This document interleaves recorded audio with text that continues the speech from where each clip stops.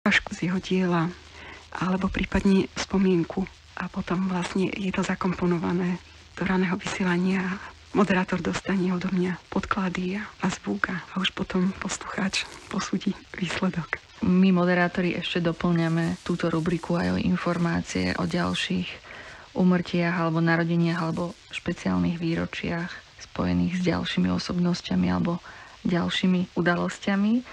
V súčasnosti tým, že si pripomíname 50. výročie od začiatku vysielania Rádia Devín, sme tento historický